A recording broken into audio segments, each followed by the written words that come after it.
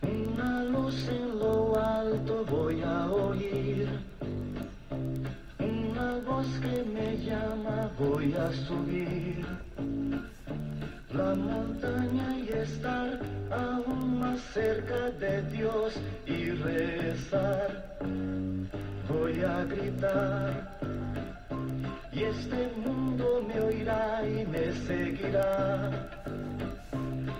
Todo este camino y ayudará a mostrar cómo es este grito de amor y de fe.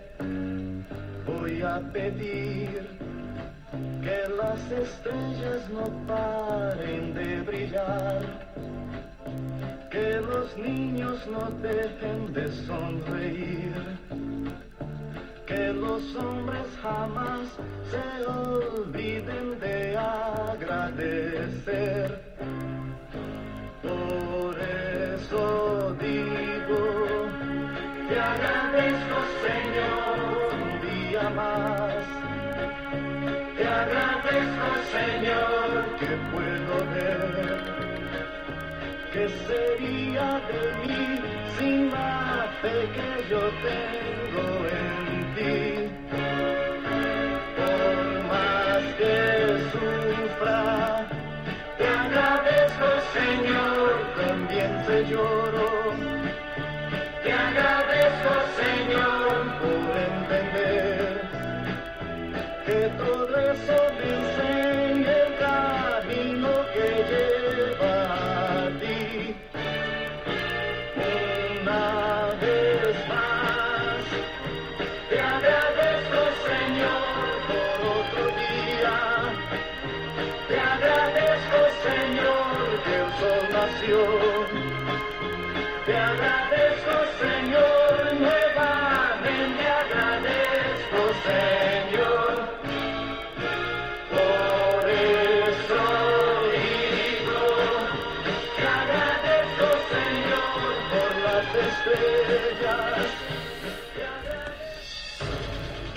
24, primera emisión. Con Odilón García.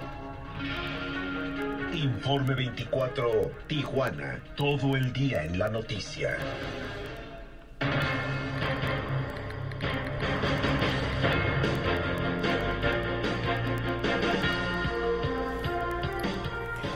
Amigas, amigos, les saludamos con el gusto de siempre. Buenos días a todos ustedes. Muy, muy buenos días en este miércoles 22. Les saludo con gusto a todos mis amigos que están en el sur de California, aquí en Baja California. Mucha información, por cierto. Hoy es día de la información sobre seguridad en la República Mexicana. Por supuesto, Tijuana también está en el ojo del huracán. 20 grados centígrados en este momento, temperatura ambiente. El sol a todo su esplendor. Llegaremos a 32 grados centígrados 32.5 a los 33 grados centígrados este día, miércoles, hay un pico de temperatura para nosotros en esta región fronteriza, igualmente para mis amigos que se localizan en San Diego, Tecate y Rosarito, alerta en incremento de temperaturas, para mañana jueves, una reducción a los 28 grados máxima, viernes 27 grados, vamos hacia abajo el sábado 26 máxima, domingo a los 25 grados centígrados, lunes también, y si quiere usted que ahí nos vamos a quedar, martes hacia los 23 máximo, una disminución después de este día de la temperatura a partir de, la ma de mañana. Estimado Julio, muy buenos días. Hola, ¿qué tal caballero? Muy buenos días. Buenos días a todos nuestros amigos de Mesa Informativa. Hoy, hoy miércoles 22 de septiembre, Mesa Informativa 16 años con información local, nacional e internacional desde el año 2005. Disfrute de este día con una sonrisa. No baje la guardia, la salud es primero y todos a cuidarnos. Si usted se cuida, cuida a los demás y el COVID-19 sigue presente. Odilón García, la voz de la noticia. Muchísimas gracias, querido Julio, y para mis amigos que entienden la temperatura en Fahrenheit, también la tenemos para usted. 68 Fahrenheit en este momento llegaremos a los 90, si acaso a los 91 grados Fahrenheit aquí en la zona fronteriza debido a una alta presión Temperatura elevada, tenga usted precaución de mantenerse hidratado, no esté a la intemperie, sobre todo en las horas pico, donde tendremos la mayor concentración de calor en esta región fronteriza ya por la una de la tarde, las dos, las tres, las cuatro incluso, donde llegaremos al máximo de temperatura. Tenga precaución, por favor, cuídese, cuida a los suyos. Para mañana jueves, temperatura máxima de 82, viernes 81, sábado hacia abajo 79, domingo 77, lunes también y martes a los 73 grados Fahrenheit hasta el momento la temperatura extendida. La salida del sol a las 6 de la mañana 36 minutos, el atardecer a las 6 con 44 minutos, casi se empatan. Y tenemos como siempre con gusto un resumen de lo más sobresaliente que ha acontecido en las últimas horas en la región, en la República Mexicana, igual en el mundo. Acompáñenos. La información está lista y es para usted.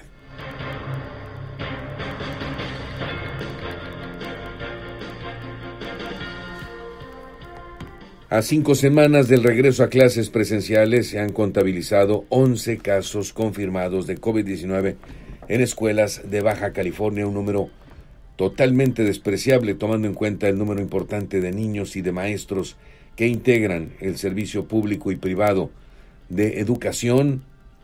La suspensión de dos planteles no pintan. Vamos bien, mencionó el secretario de Salud Alonso Oscar Pérez Rico.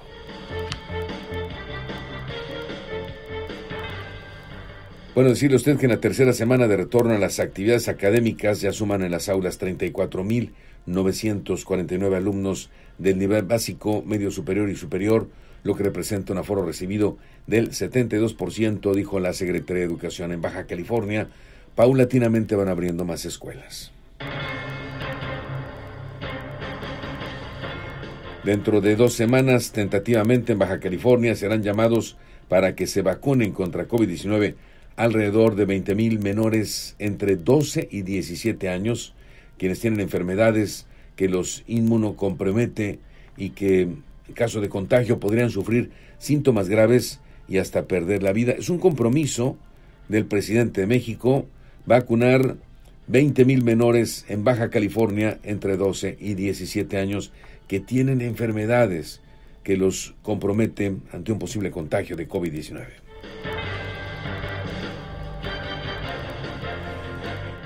Por cierto, Gabriela Arciniaga Mesa, coordinadora del Programa de Infancia y Adolescencia de la Jurisdicción Sanitaria número 2, informó que a partir del anuncio del regreso a clases presenciales, padres y madres de familia han acudido a completar el esquema de vacunación de sus hijos en alguna de las 36 unidades que tienen disponibles en Tijuana, Tecate, Playas de Rosarito.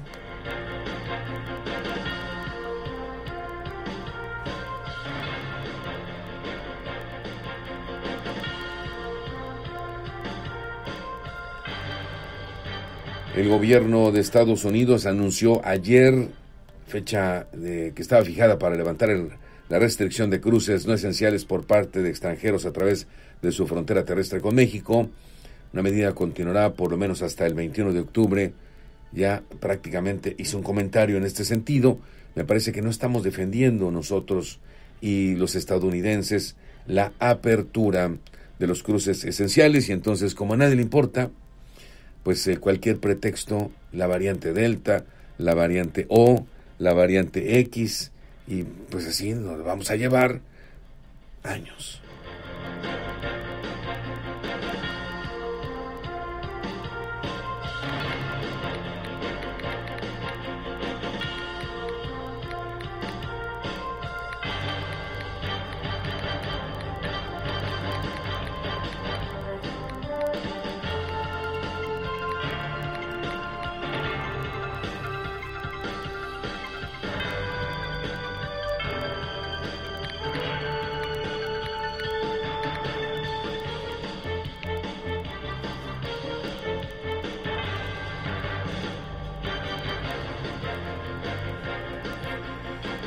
Por cierto, Gabriela Arciniaga Mesa, coordinadora del programa de infancia y adolescencia de la jurisdicción sanitaria número 2, informó que a partir del anuncio del regreso a clases presenciales, padres y madres de familia han acudido a completar el esquema de vacunación de sus hijos en algunas de las 36 unidades que tienen disponibles en Tijuana, Tecate y playas de Rosarito.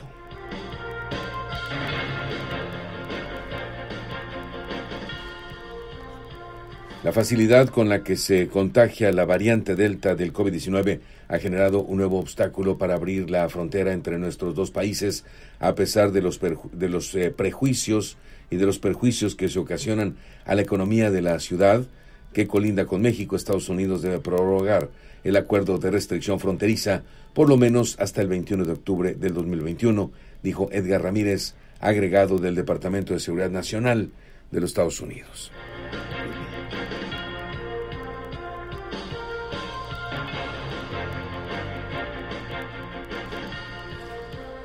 La alcaldesa de Tijuana, Carla Ruiz McFarland, reconoció este lunes que uno de los principales objetivos de cara al cambio de gobierno en el ayuntamiento es heredar unas finanzas, unas finanzas sanas a la administración de Montserrat Caballero Ramírez, un gesto no solamente noble, sino un gesto profesional para que la próxima administración arranque sin compromisos que la detengan.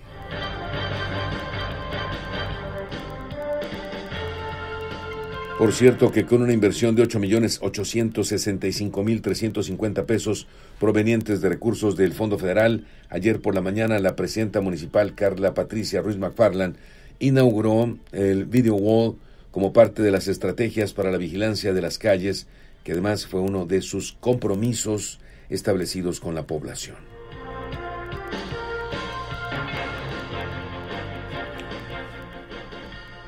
Estoy recibiendo en este momento una investigación realizada efectivamente por la em, empresa MX de comunicación. Laura Sánchez, agradezco muchísimo que nos comparta. Más adelante le voy a leer a usted esta investigación oculta. Los Zetas estuvieron en la mira de Calderón por accidente de Blake Mora.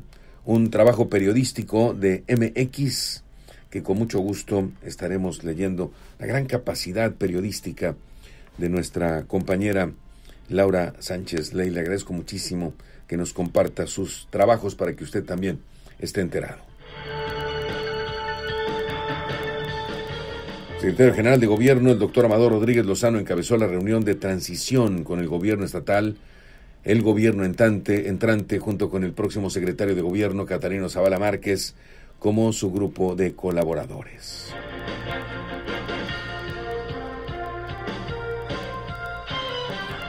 Un joven fue herido de bala ayer por la tarde al ser atacado en la colonia Mariano Matamoros. En tanto esperaba la ambulancia, el joven permaneció tendido sobre la calle, acompañado de su familia en una escena que se ha convertido en una escena viral de lo que ocurre en las calles de esta ciudad Tijuana. Decía yo hace un momento, a pesar de la presencia de la Guardia Nacional y del Ejército, seguimos en el segundo lugar en violencia a nivel República Mexicana y además destacamos en el mundo respecto a esta violencia que usted conoce en las calles de la ciudad.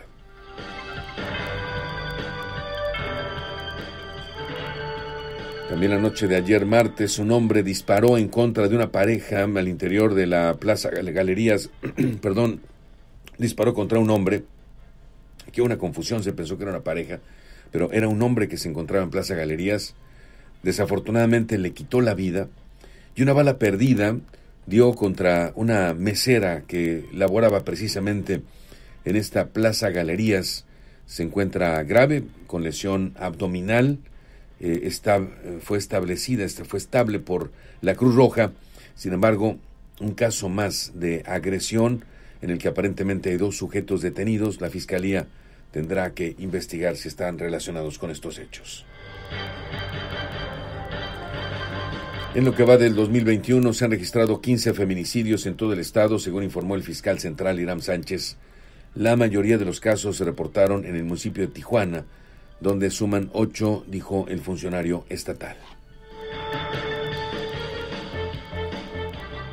Por cierto, la mujer que fue asesinada y abandonada junto con un mensaje que finalizaba con un te amo en un predio del fraccionamiento Villafontana no ha sido identificada, informó el fiscal central eh, Irán Sánchez Zamora, y hasta el momento no hay familiares que hayan reclamado su cuerpo.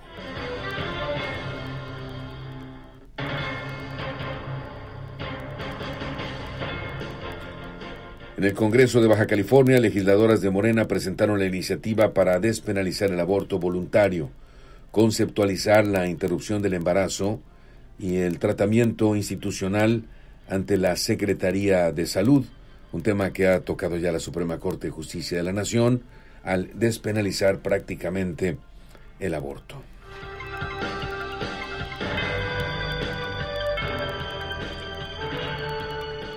David González Camacho, director del Instituto del Deporte en Baja California, reconoció que no se ha cubierto el pago de un premio de 50 mil pesos a los dos medallistas olímpicos de la entidad.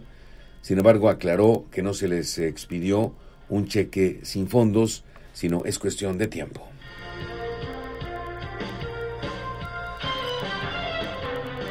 Grupo de taxistas que tienen en su sitio la garita de San Isidro entregaron este martes una petición a Sindicatura Procuradora con el fin de que se investigue a funcionarios municipales que presuntamente otorgaron permisos irregulares a Manuel Zavala, líder de los taxis amarillos que operan en esa zona de la ciudad, pero con otro color. Las obras ganadoras de premios estatales de literatura 2020 son dados a conocer por la Secretaría de la Cultura de Baja California tras el fallo del jurado calificador en la categoría de cuento para niños. La obra seleccionada es Aventuras en la mina de la muerte de Juan Antonio Di con el seudónimo Salterio Guadaña.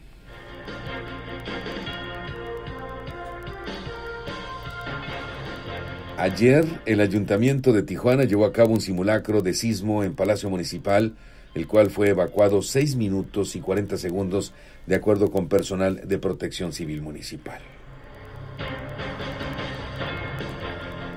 La estrategia contra la violencia y la inseguridad puesta en marcha por el gobierno del presidente Andrés Manuel López Obrador funciona y avanza hacia la construcción de la paz en el país reto que demanda corresponsabilidad y trabajo conjunto sin distingos de colores, sostuvo la titular de la Secretaría de Seguridad y Protección Ciudadana, Rosa Isela Rodríguez. Vecinos del municipio de Tlalnepanta, en el Estado de México, se vieron sorprendidos por el desgajamiento del cerro del Chiquihuite a causa de las intensas lluvias en la entidad. Sin embargo, el incidente se convirtió en tragedia cuando revelaron que tres casas resultaron dañadas y cuatro personas, entre ellas dos menores de edad, quedaron atrapados. Y finalmente, finalmente la región de América Latina y el Caribe enfrenta un momento de gran incertidumbre. Estamos ante un rebote económico que no asegura un crecimiento sostenido. Los impactos sociales se agudizan dijo la secretaria ejecutiva de la Comisión Económica para América Latina y el Caribe de la CEPAL, Alicia Bárcena. Aunado a ello, dijo, persiste el deterioro ecológico global y retrocede las políticas ambientales, más, súmele usted, el fenómeno que usted ya conoce, la migración, la salida de su población de su territorio, lo cual empobrece aún más estos estados de América Latina y el Caribe.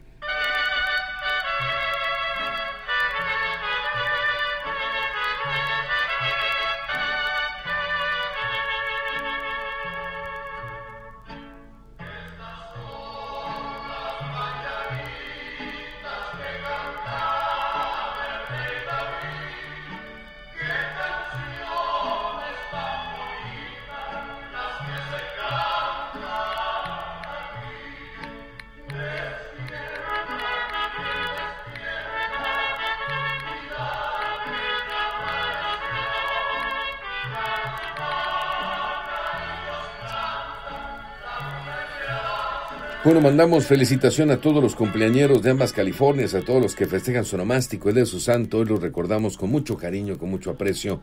Digna, Jonás, Inocencia, Vidal, Mauricio, Cándido, Víctor, Victoria, a todos ustedes. Muchas felicidades, queridos y queridas amigas. Jonás, nombre derivado del hebreo Jona, que significa palomo, ocupa en la historia del pueblo de Israel un lugar destacado. El libro de Jonás, en el Antiguo Testamento, narra la historia de este profeta este nombre se ha extendido entre nosotros a la par que los demás nombres bíblicos, por tanto deseamos muchas felicidades a todas y ustedes.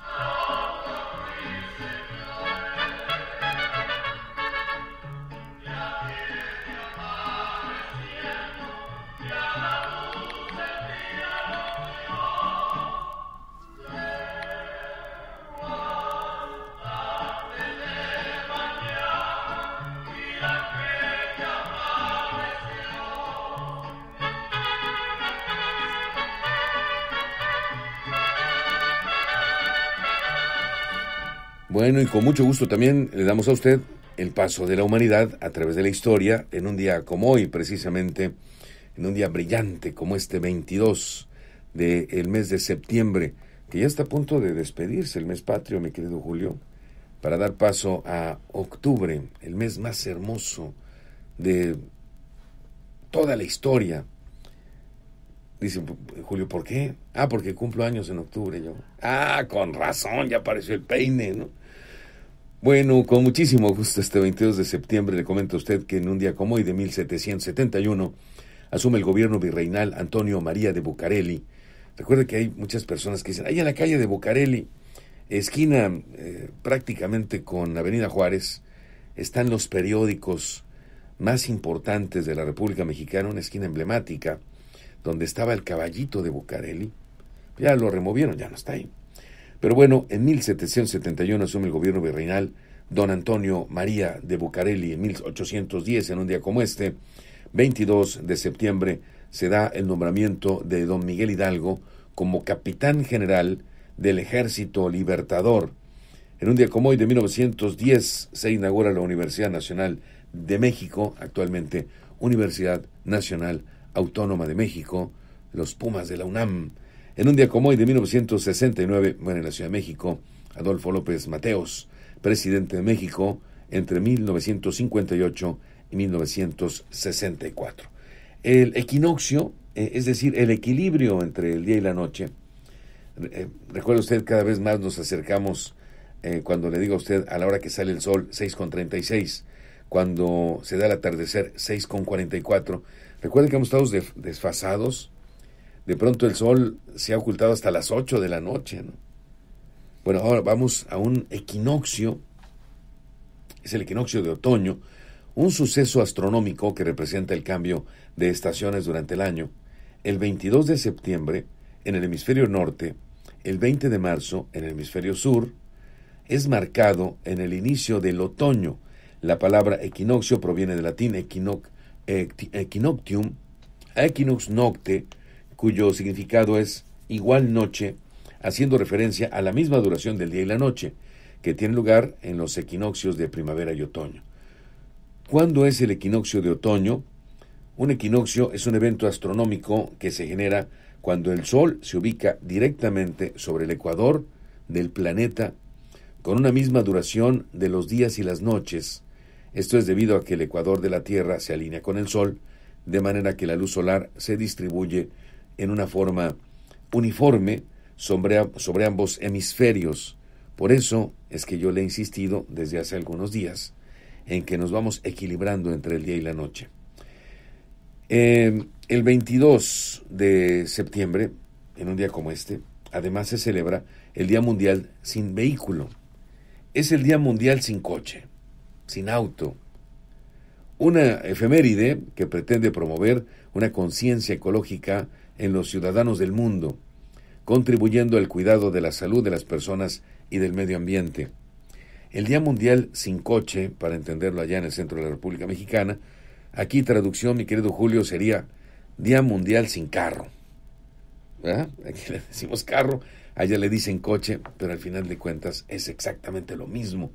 La iniciativa de celebrar el Día Internacional de em, no utilizar el vehículo hoy pues es un día, vamos, que se recuerda entre la efeméride, pero muy pocas personas participan de ello. Ojalá usted, en honor precisamente a este día, pudiera llegar eh, también, eh, en este caso, a prescindir de su auto solo por hoy, como dicen los grupos de rehabilitación, nada más este día y ya.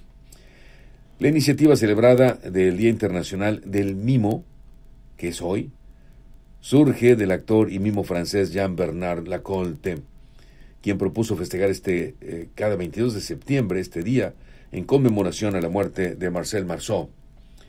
El Día Mundial del Rinoceronte también se celebra el 22 de septiembre, este extraordinario espécimen. Es un, un espécimen eh, con características primitivos, duro, eh, complejo, con un cerebro además eh, poco desarrollado. El rinoceronte tiene grandes características, pero es un animal además formidable, sumamente poderoso, sumamente fuerte. Cada año se hace conciencia a la población mundial de la importancia de cuidar y proteger al rinoceronte, una especie que desempeña un rol fundamental en el equilibrio de los ecosistemas alrededor del mundo, pero desafortunadamente es muy apreciado por su cuerno, por eh, su forma, por los cazadores y millonarios del mundo. No participe usted de ello, mejor un dibujo y punto.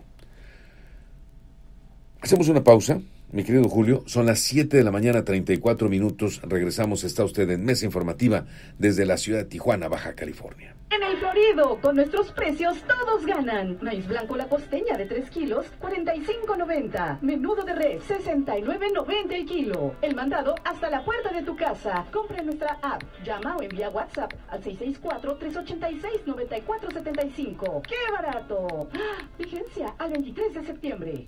Duele todo lo que estamos viviendo. Duele hasta el alma. Pero si algo tenemos las y los mexicanos, es que siempre nos unimos y salimos adelante. Así que no importa si odias la política, lo que realmente importa es sanar a México. Sanar los trabajos perdidos, la inseguridad, los centros de salud. En RSP queremos sanarte a ti. RSP, sanar a México. Visita redes sociales progresistas.org. En el Florido, con nuestros precios todos ganan. Pierna de cerdo sin hueso, sin cuero, 59.90 el kilo. Camarón mediano sin cabeza, 179.90 el kilo. El mandado hasta la puerta de tu casa. Compra en nuestra app, llama o envía WhatsApp al 664-386-9475. ¡Qué barato! ¡Ah! Vigencia al 23 de septiembre. En Membil Instituto, eliminamos los exámenes al maestro orador y te capacitamos para tus clases en línea. En Membil Instituto el alumno recibe educación personalizada y desarrolla su capacidad para crear y aprender. Analiza, trabaja en equipo, aprende a comunicarse y a solucionar problemas. En Menville cambiamos los exámenes por proyectos. Menville Instituto, Universidad y Bachillerato Tecnológico, frente al Parque Morelos. Abrimos grupos de primero a sexto todo el año. Primera inscripción gratis. Marca 664-903-4193 y menville.edu.mx. ¿Y esta sandía sale buena? Mire, ¿de dónde me la traen? ¿Y acepta Cody? ¿Cody? Si tienes celular, cobra con Cody. Busca con la aplicación móvil de tu banco o institución financiera. Ahí genera tu código QR. Tus clientes solo tendrán que escanearlo, poner la cantidad a pagar y listo. Lo mejor, no pagas comisiones. Conoce más en cody.org.mx. Cody, la nueva forma de pagar en México. Si tienes celular, usa Cody. Cody opera bajo la infraestructura y características del SPEI. La CNDH tiene una deuda histórica con el pueblo de México y en la actual administración nos comprometemos a resarcir el daño cometido durante décadas de simulación y omisiones. Nuestro objetivo es claro, crear una cultura de derechos humanos y velar por la dignidad de las y los mexicanos ante los abusos del poder. Caminamos juntos en busca de justicia, verdad, memoria y reparación del daño a las víctimas de violaciones de derechos humanos. Acércate a nosotros. En la CNDH defendemos al pueblo.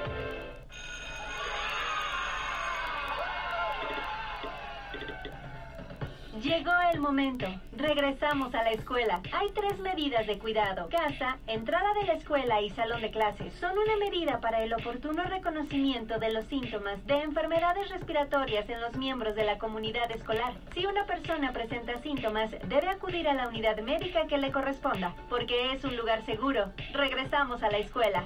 Gobierno de México. Información importante. Atención Tijuana. Hoy continúa la jornada de vacunación de segundas dosis de las vacunas Pfizer y Sinovac contra el COVID-19. Hay primera dosis, pero exclusivamente para embarazadas. Para personas vacunadas antes del 31 de agosto para Pfizer y antes del 24 de agosto para Sinovac. Acuda a aplicarse el reactivo para completar su esquema de vacunación. Único sitio 100% eh, peatonal es en el IMUS, Instituto de Movilidad Sustentable en el Florido, a partir de las 7 de la mañana hasta las 2.30 de la tarde. Acude a aplicarse el biológico hoy miércoles 22 de septiembre. Recuerde, no hay primera dosis, hay que esperar hasta nuevo aviso. Comuníquese con nosotros, teléfono en cabina 664 6 86 36 70 664 86 36 70. Continuamos con más información con Odilón García, la voz de la noticia, a través de la señal de XCWX 1420 de AM desde Tijuana, Baja California, México.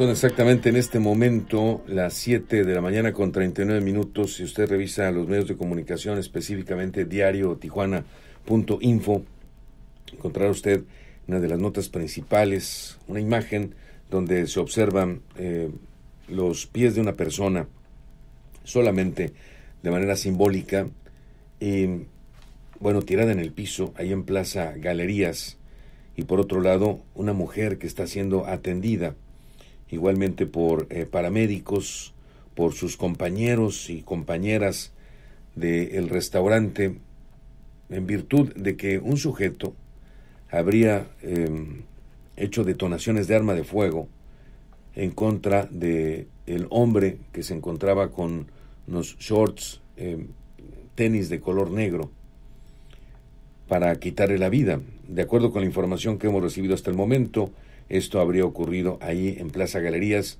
cuando aparentemente un par de sujetos abrieron fuego en las inmediaciones del Cinépolis que se encuentra en el interior de esta plaza. De acuerdo con la versión de testigos, el hombre falleció cuando caminaba en compañía de un de otro hombre, su guardaespaldas, al filo de las 20 horas con 15 minutos. En el momento de ser agredidos, el escolta repelió la agresión para herir aparentemente a uno de los atacantes, pero aún con esto, los sujetos lograron obtener su objetivo y asestaron disparos en la cabeza que le cegaron la vida a esta persona. Balas perdidas impactaron contra una mujer que nada tenía que ver con la agresión para dejarla mal herida. Al parecer, la joven trabajaba en uno de los restaurantes de la plaza, justo frente a los cines. Tras el enfrentamiento, uno de los agresores resultó lesionado, pero con la ayuda de su cómplice logra darse la fuga en un automóvil oscuro y compacto. Al salir del centro comercial, un operativo de la Policía Municipal da alcance a un auto compacto aparentemente Mazda con las características citadas del vehículo que utilizaron para darse a la fuga. Así, realizando el arresto de dos personas, la Fiscalía General de Justicia deberá aclarar la participación de los detenidos como presuntos actores de esta balacera, el asesinato y lesión a una joven mujer que se reportó grave atendida por Cruz Roja, pero en estado de gravedad debido a las lesiones que le propinaron los disparos de arma de fuego. Una información que contrasta, por supuesto, con el tema de carácter policial en términos a lo que está ocurriendo en esta zona fronteriza. Y a propósito de ello, la Fiscalía General de Justicia ha cumplimentado un número importante de órdenes de aprehensión por robo de vehículo, por eh, narcomenudeo, incluso hasta por homicidio, tentativa de homicidio, ha realizado cateos, ha metido mucho trabajo. Eh, sin embargo, a pesar incluso de la presencia de la Guardia Nacional y del Ejército, continuamos con hechos lamentables de violencia en esta zona fronteriza. Esta mañana fue dedicada en la transmisión del presidente de México, seguramente usted se percató, a eh, bueno, eh, reconocer el trabajo que se realiza en la República Mexicana por parte del ejército em, en términos de este flagelo, el delito del homicidio, y lo dijo con todas sus letras la titular de seguridad. Eh, aquí no se ocultan las cifras ni los datos en términos del homicidio doloso. hay que reconocer, en este caso, que hay una atenuación a nivel República Mexicana. No así aquí en Tijuana, en Baja California, donde junto con otras entidades de la República tenemos casos muy lamentables. Recuerda usted, antiera allá en Rosarito, un sujeto que forcejeaba armado con otra persona, la intervención de un policía municipal al que le disparan afortunadamente sin darle lo tiran al piso, le ponen el arma en la cabeza y en ese momento llegan elementos de la corporación, para apoyarle, eso le salvó la vida. El sujeto corre, le dispara a los policías que repelen la agresión y este sujeto agresivo armado resulta muerto. En las calles eh, de esta ciudad Tijuana, las calles de Rosarito, igualmente en Ensenada. Pero bueno, en este sentido, respecto al homicidio específicamente, la titular de seguridad en el país, esto comentó en la conferencia matutina del presidente México, yo me refiero, desde luego, perdón usted, en torno a ello, aquí está la curva, la gráfica, eh, cómo se recibe el país y cómo va atenuándose con la presencia militar. Eh, le repito, para que no eh, se vaya a confundir, en la República Mexicana, no así en entidades como Baja California o en ciudades como Tijuana. En el caso de homicidios dolosos, delito del fuero común, de enero a agosto disminuyó 3.9 en este año, en lo que va de esos ocho meses respecto al mismo periodo del año anterior, siendo este mes, agosto, el más bajo en lo que va de la presente administración. Adelante. Em, aquí está el acumulado de enero a agosto en donde seis estados concentraron el 50% de las víctimas de homicidio doloso. Ellos son Guanajuato, Baja California, Michoacán, Estado de México, Chihuahua y Jalisco. Son los estados, en estos seis estados se concentra el 50% de los homicidios dolosos de todo el país. Adelante. Esto solamente es para tener una referente eh, importante. Eh, voy a recurrir a esta gráfica, eh, sobre todo porque se pasó de manera muy rápida, pero sí es importante que nosotros como ciudadanos de la frontera lo tengamos muy en cuenta. La voz que escuchó usted es de Rosa Isela Rodríguez Velázquez, quien es la titular actualmente de la Secretaría de Seguridad y Protección Ciudadana. Em, nombramiento que la coloca como la primera mujer a cargo de la seguridad pública en la historia de México. Rosa Isela Rodríguez, solamente para dar un antecedente, es eh, una mujer periodista, servidora pública mexicana, que se desempeñó como secretaria de gobierno en la Ciudad de México del 5 de diciembre del, del 2018 hasta el 6 de julio del año 2020.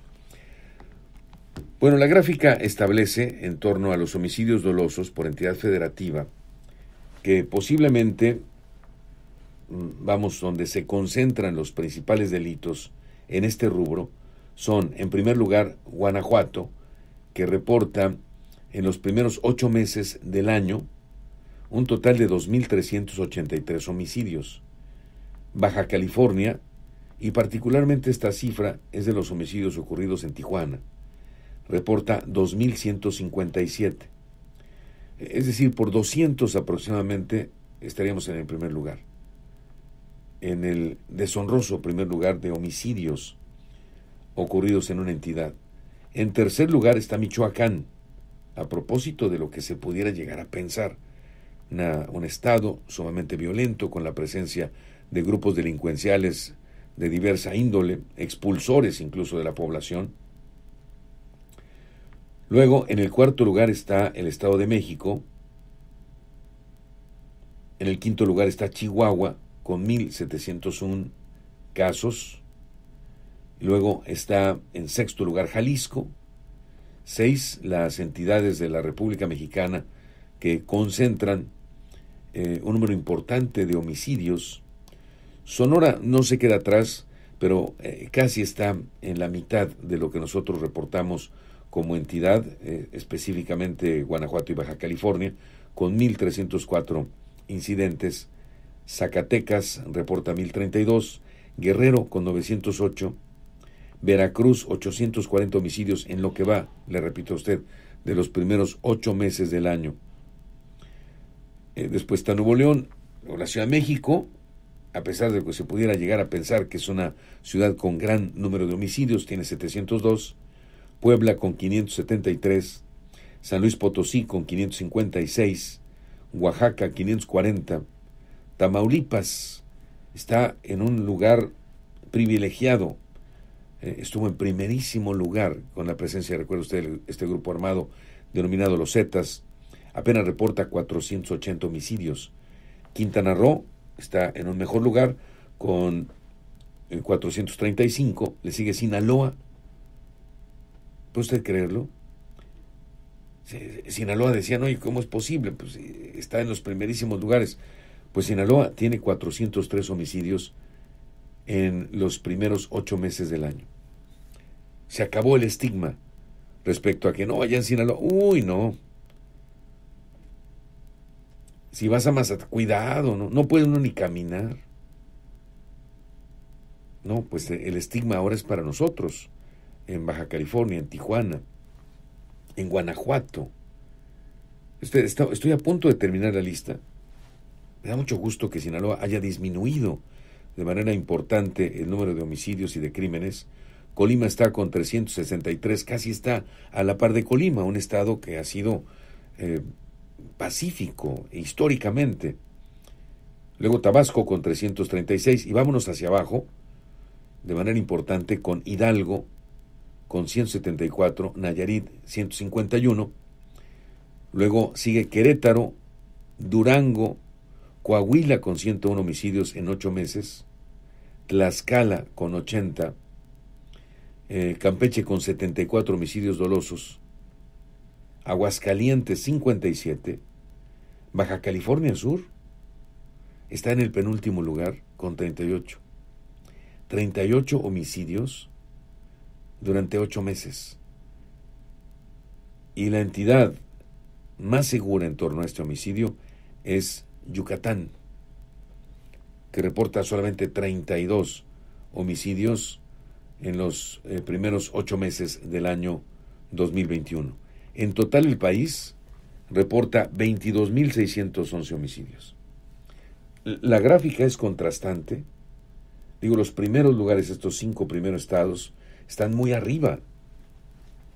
En el segundo lugar, desde Sonora, Zacatecas, Guerrero, Veracruz, Morelos, León y Ciudad de México, están en un escalón de mil aproximadamente promedio. Pero luego en escalón más bajo, donde está San Luis Potosí, Oaxaca, Tamaulipas, Quintana Roo y Sinaloa. Y el último escalón son de los eh, estados con menos incidentes, desde Hidalgo hasta Yucatán. La verdad es que es impresionante la recuperación que reporta eh, Sinaloa.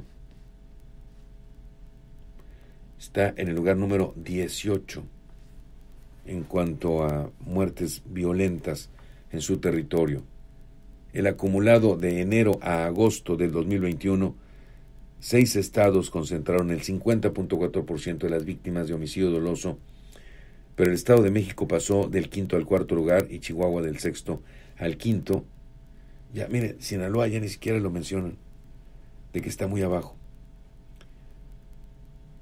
Pero bueno, en torno a ello, Guanajuato, le digo a usted, está en primerísimo lugar, Baja California en segundo, Michoacán en tercero, Estado de México en el cuarto, Coahuila en el quinto, Jalisco en el sexto lugar. Algunos amigos, y lo voy a decir claramente, me decían, oye, pero no está la Guardia Nacional aquí, no está el ejército, no hay presencia militar, eh, no hay policías, la coordinación, en fin.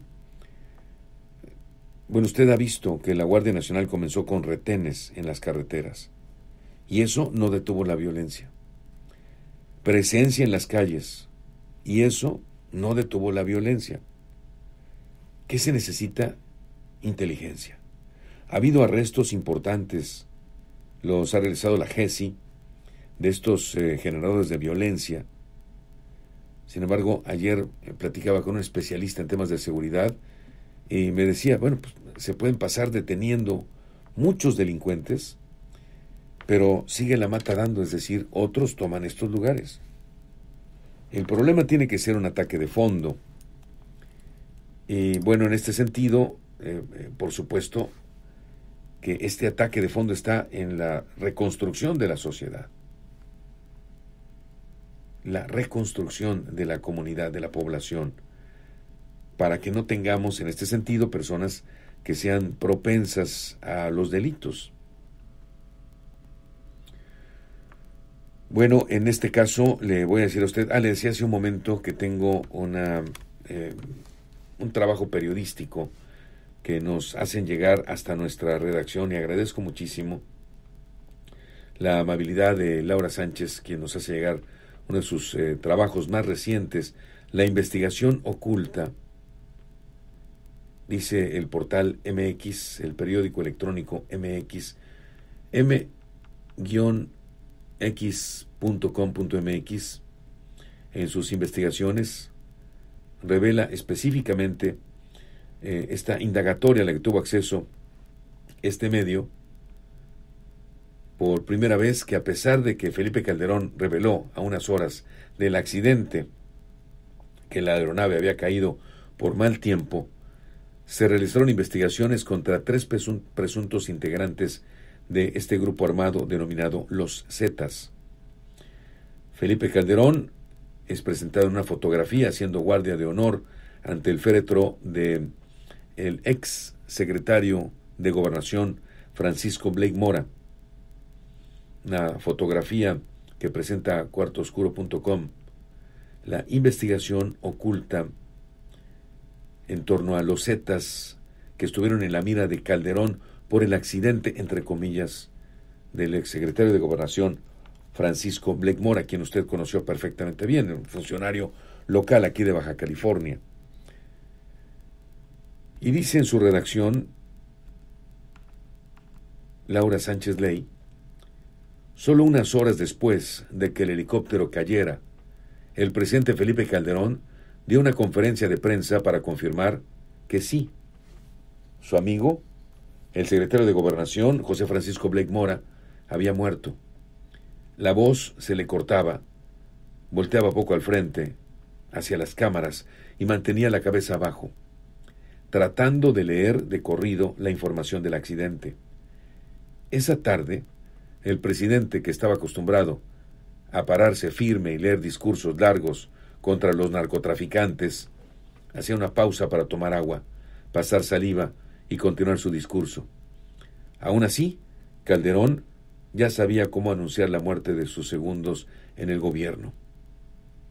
Tres años antes, en el 2008, el antecesor de Blake Mora, titular de gobernación, Juan Camilo Mourinho, había muerto en un accidente aéreo.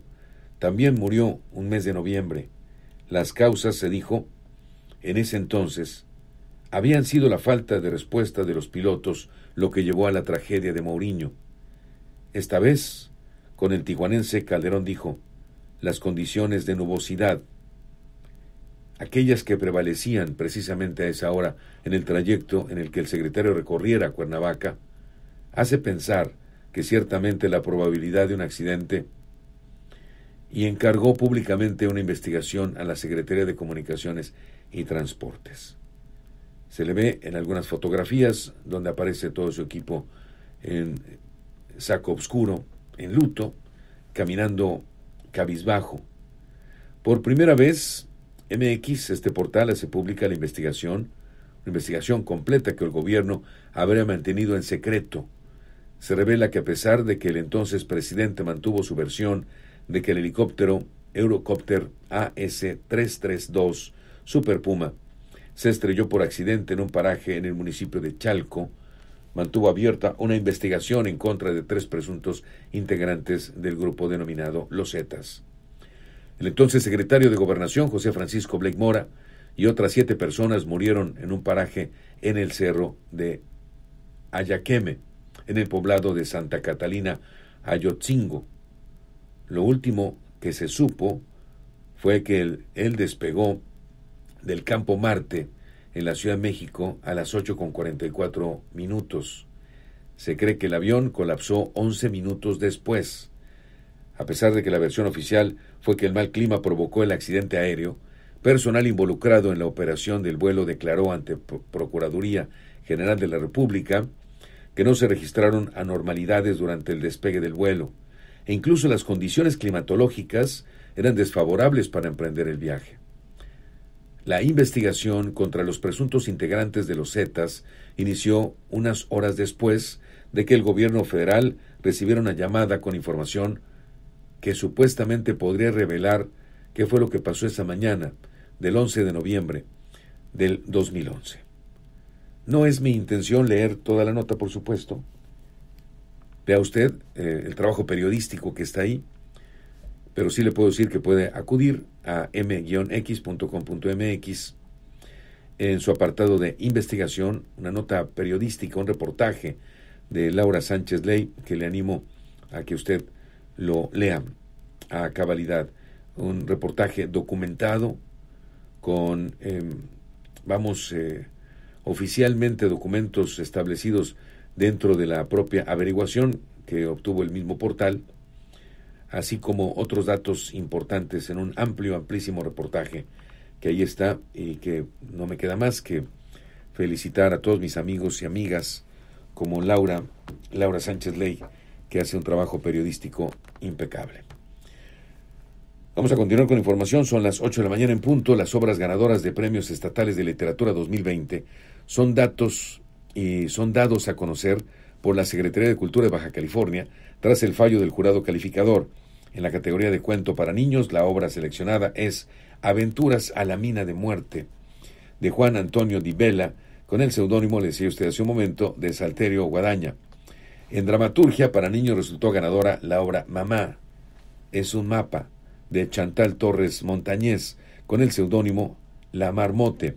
En dramaturgia, la escritora Damari Sánchez Moreno participó con el nombre de Gandhi. Resultó seleccionada con la obra Porque la gente recordará a mi padre, así mencionó. La escritora, la escritora María Ileana Hernández Partida, quien escribió su trabajo con el nombre de Niel Lloyd, resultó seleccionada en la categoría de ensayo con su obra Tempus Fugit, aproximaciones a las palabras de otros. Por su lado, la categoría cuento fue otorgada por el jurado a Luis Alfredo Gastelum, quien participó con el nombre de Dimas de León, con esos seres extraños. En poesía, María Teresa López Sabedoy, que presentó su obra bajo el nombre del Pilar González Gámez, resultó ganadora con los poemas Son vegetales en el capitalismo carnívoro, Conversaciones desde un mundo feliz, Modernidad, Guerra y Existencialismo, del seudónimo Logos, que corresponde a Hugo Alfredo Hinojosa. Fue el trabajo ganador del rubro de periodismo cultural y finalmente en novela de trabajo de Jordan Leis, seudónimo del escritor Josué Israel Pérez Camacho, triunfó por su trabajo Ellos Nunca. Carla Robles, titular de la dirección editorial y del fomento a la lectura, informó que la deliberación de obras estuvo a cargo del jurado integrado por Gabriela Peirón, Berta Irat, Ángel Balbuena, eh, Jimena M. Vázquez, Luis Martín Garza, eh, David Alejandro, Gerardo Ochoa Sandy, Sandino Gámez, eh, Leonardo Tarifeño, Iván Farías, Cristina Rascón, Jesús García Mora, eh, Minerva Reynoso, Ana Clavel Agustín Cárdenas. Oiga, dentro de lo que estoy leyendo aquí sobre esta nota, respecto a esta información de cultura, 100%, me da muchísimo gusto reconocer un nombre aquí entre los ganadores Hugo Alfredo Hinojosa, que seguramente a usted le dirá mucho porque es el titular, el director de comunicación social de la actual administración municipal, que es un hombre de letras. Me da muchísimo gusto, desde luego le mandamos una gran felicitación a Hugo, que aparece precisamente en el tema em, de modernidad, Guerra y Existencialismo, participó con el seudónimo Logos, no puedes participar con tu nombre, porque si no entonces desvías la investigación. Imagínese usted, Julio Rodríguez, oh no, pues este merece ganar por el nombre. No, por tu trabajo. ¿Quién es Logos? Pues quién sabe. Puede ser cualquier persona, un hombre, una mujer, un niño, un hombre de avanzada edad. Logos corresponde a Hugo Alfredo Hinojosa, el trabajo ganador del rubro de periodismo cultural. Me da muchísimo gusto, me da mucho orgullo además, lo felicito ampliamente porque lo conocemos, es un hombre con una gran calidad moral y humana. Muchos Hugos necesitamos hoy. Nuestra patria, nuestro devenir histórico sería totalmente diferente si conociéramos de letras. Si tan solo conociéramos de letras, si tan solo aprendiéramos a expresarnos, no tendríamos tantas controversias. Y como dijo alguna vez uno de los grandes escritores, eh, el Monsi, don Carlos Monsiváis, los delincuentes, los narcotraficantes, asesinan como si escribieran, como si hablaran, como si se estuvieran comunicando, a esa velocidad, a ese ritmo. Así lo dijo aquí, en esta ciudad de Tijuana. Vaya pues en contraste entonces esta construcción de nuestra cultura, periodismo cultural, ganador Hugo Alfredo Hinojosa. Señor Logos, le mandamos un abrazo, una gran felicitación.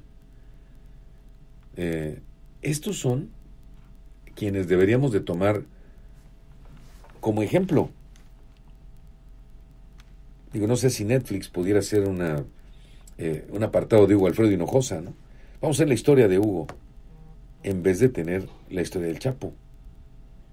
no sé, digo, pues eh, ahí yo lo dejo eh, a consideración de usted, a consideración de nuestros amigos que nos escuchan cotidianamente.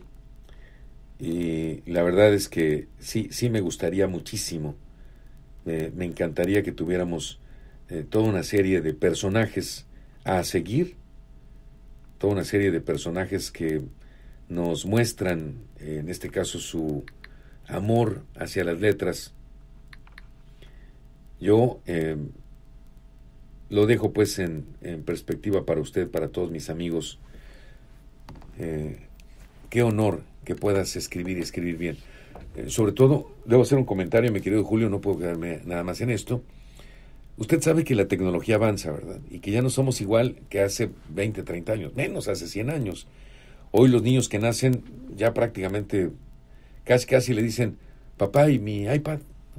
¿Y mi tableta? Están muy pegados a la tecnología. Saben manejarla muy bien.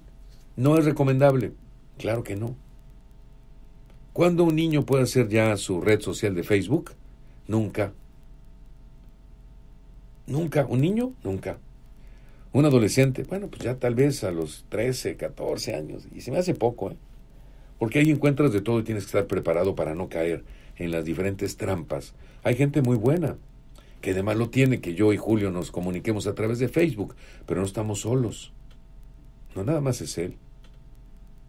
Puede haber un hacker que tome su nombre, sus fotografías y me contacte. Hola, soy, Julio, ¿cómo estás? Yo estoy preparado como adulto porque le preguntaré, ¿qué dijimos ayer? Me decir, pues, ¿de qué? Ah, tú no eres Julio pero un niño no. Bueno, pero las profesiones en este devenir histórico, y sobre todo ahora que Google for Education tiene toda una gama. Pues yo tenía, le comento rápidamente, tengo una computadora donde pues no, no di de alta el Word. Pues no tenía yo mi hoja para escribir, ¿no? ¿Y ahora cómo le hago? Pues puedo escribir una libreta pequeña. Pues ahí escribía mis cosas en mi libreta. Y me dijo mi, mi hijo, el más, el más pequeño, ¿dónde escribes tú tus...? Pues no tengo Word, mejor lo tengo que hacer en, en la computadora viejita, porque pues no quisiera comprar otro y otro y otro, es muy caro, además te lo venden, pagas por mes, algo así. ¿Y por qué no escribes en, en, en las utilerías que tiene eh, Google? ¿Cómo? ¿A poco se puede? Sí, ahí están todos. Excel, puedes hacer documentos, etc. Pero ¿dónde está o qué? Ahora sí que me dijo como le decimos a los hijos, búscala papá. Pues tiene razón. Ojo, y en el 85 estudié ingeniería en electrónica, programación.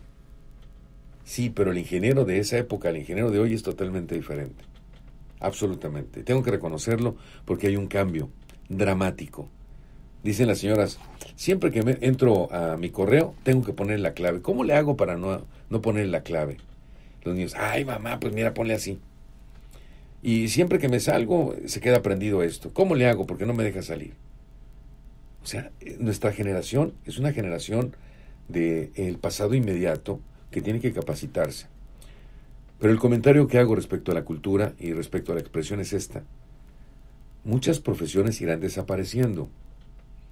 El periodismo, tal y cual se conocía, tiende a desaparecer. El periodista de antaño, el periodista de eh, el periódico en la mano, olor a tinta, la fotografía y el cliché para poder publicarlo, es está extinto. E, es un zombie, cree que todavía vive, pero no, ya esa profesión ya no está. Usted llega, escribe, eh, lo lleva a la redacción. Oye, pero qué, ¿para qué lo trajiste? Pues mi trabajo. Mándalo, no vengas. Ah, ok, bueno, ok, pero ¿cómo? Sí, a través del correo, ahí me lo mandas. Y, y las fotos, ¿qué? También. Pero no, oye, pero están muy pesadas, no caben. ¿Cómo le hago? No puedo mandarlas, no, ni el video. Tienes que comprimir. Oye, tómate un cursillo, ¿no? Para que puedas mandar las cosas. Pero todavía hay compañeros así, ¿eh? Bueno, dejaré esa profesión en paz y le hablaré a usted de las demás profesiones. Un zapatero la profesión de chef, ojo, eh, cuidado, está por quedar en el pasado. Usted puede decir, no, hombre, ¿cómo? hay ahora sí que exageró mi buen amigo. No, máquinas van a estar preparando la comida. Claro. Hay una lista que ya identificó Google de profesiones que van a desaparecer irremediablemente a la aplicación de la tecnología, de máquinas e instrumentos. ¿Qué tenemos que hacer? adaptarnos. Pero la profesión que no va a desaparecer nunca es la profesión que tenemos para expresarnos. La generación de ideas. Puede tener usted una super mega archi contra computadora, pero no va a ser tan eficiente como el cerebro. Ya sé que para el futuro se dice que va a haber, eh, como decía John, eh, John eh, Hopkins, puede haber humanoides con ADN manipulado, que tengan mejores capacidades, que se enfermen menos que nosotros, o sea, otra raza. Ya decía, tendría conflictos con el ser humano eh, original, el que nacemos de la unión de un papá y una mamá y ahí estamos. ¿Cómo? Pues como se dio en la naturaleza. Los otros que tienen algún tipo de eh, mano del hombre, bueno, pues obviamente serían, eh, no quiero decirlo así, pero más dotados, digamos, de esta manera, digámoslo así. Pero la palabra, la expresión, nuestro código con el cual nos comunicamos, la capacidad que tenemos para narrar y establecer nuestras ideas, eso, eso va a estar vigente permanentemente, incluso para aquellos que venden este tipo de tecnología.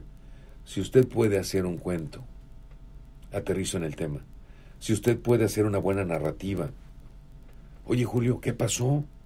Ayer, por ejemplo, a las 10 que estabas aquí, ¿qué ocurrió? Y usted puede explicar perfectamente lo ocurrido, con datos, em, sosteniéndose en el tiempo, con orden en sus oraciones. Esa, la narrativa, es la profesión que va a estar vigente. ¿Cómo puede usted explicar un problema si no tiene la menor idea de cómo utilizar las palabras? cuando está frente a una autoridad y le dice, a ver qué pasó. No, empieza, mire, pues fíjese, yo, como, eh, por ejemplo, mi esposo eh, eh, trabaja en una fábrica y, y todos los días el niño, yo le tengo que dar de comer. Pero mire, bueno, también a mi esposo, ¿no? Señora, ¿qué pasa? ¿Cuál es el problema? No, no tenemos capacidad para narrar y para establecer mi problema específicamente es este y yo le suplico que me ayude para resolverlo de esta manera. Esa es la profesión, el poder hacer una narrativa, esa es la que va a persistir.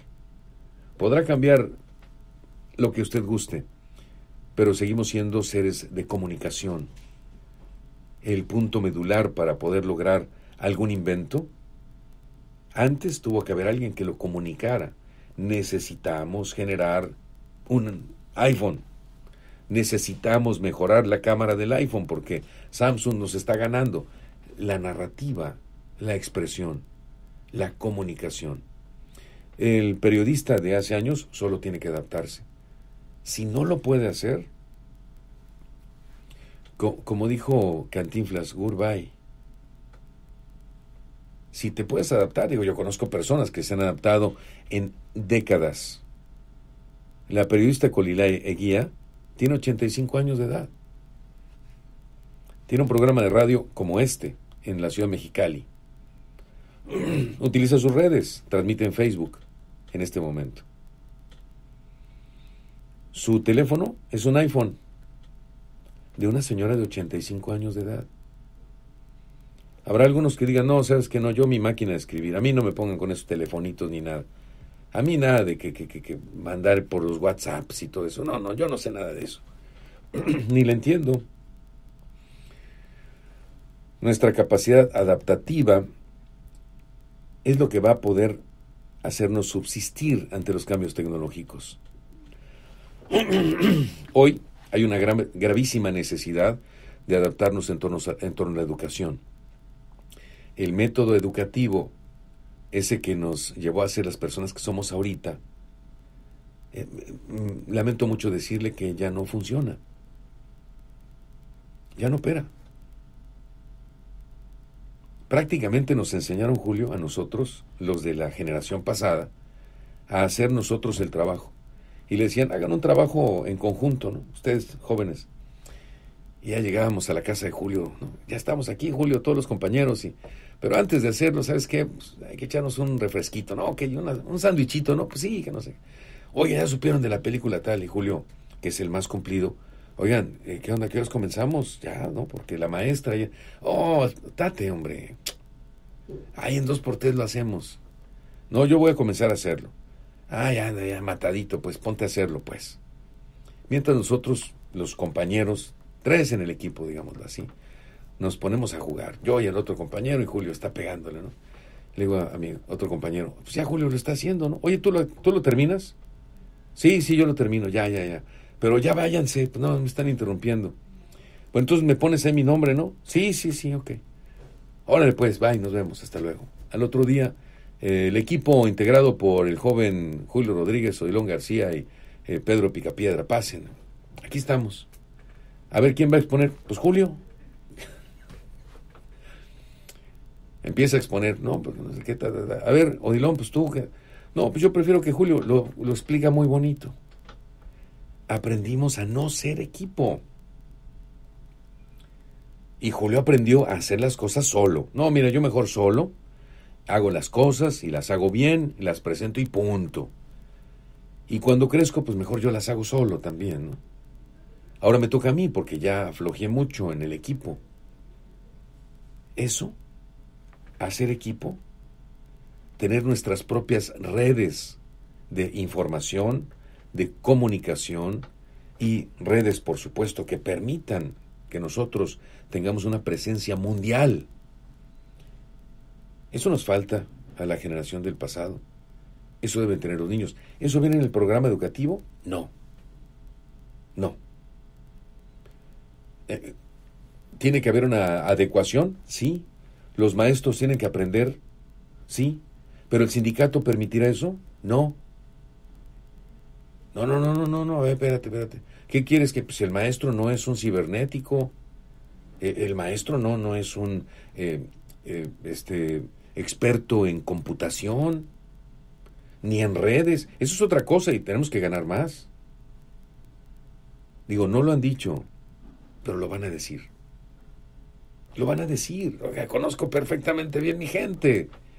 Nuestro modelo, nuestro modelo educativo es caduco. Los chicos saben utilizar la tecnología no porque les hayan enseñado en la escuela, sino por interés. A ver, papá, ¿me prestas tu teléfono? A ver, mamá. Bueno, te voy a comprar ya el tuyo, hombre. Ya, ya, ya está. ¿La están utilizando para formarse o para divertirse? La escuela tiene que tener una adecuación impresionante. ¿Seremos a punta de lanza en Baja California? No lo sé. Llamada telefónica a sus órdenes. Buenos días. Sí, buenos días. Hola, buenos días, a la orden. Ah, mire, señor, le, le, hablo porque ayer le marqué, pero ya, pues, ya, era tarde, ya no alcancé porque tenía la entrevista. Entonces ahora le estoy marcando porque ya tenemos dos semanas sin agua aquí en el Tecolote. ¿Cómo creen? No puede ser. Sí, sí, sí, así es. Ya ve que había un, no sé qué, uno que arreglaron un tubo, no sé qué era, la semana antepasada, que eran dos días. Y dos, pues que no, que no se llena el tanque, el tanque del Panamericano, que ya tiene más de una semana que no se llena, pues no sé yo por qué no se llena. Wow. Y ya tenemos, fíjate, dos semanas y sin agua. Y luego lo peor es que le digo ahí al señor que me atiende que, que agarramos el agua. ¿Y cuánto cree que nos dan el tambo de agua ahorita las pipas? No, no tengo la menor idea, ¿eh? 100 pesos cada tambo de agua. No me diga. Pues, ¿qué hacemos? Eh, esto es en el Tecolote, ¿verdad? Suspensión de agua que se ha prolongado por... ¿Cuánto tiempo me dice? Pues ya van a ser dos semanas, ya el viernes van a ser dos semanas ya que ya pues, que vamos a tener. ¿Y es en toda la colonia? En toda la colonia,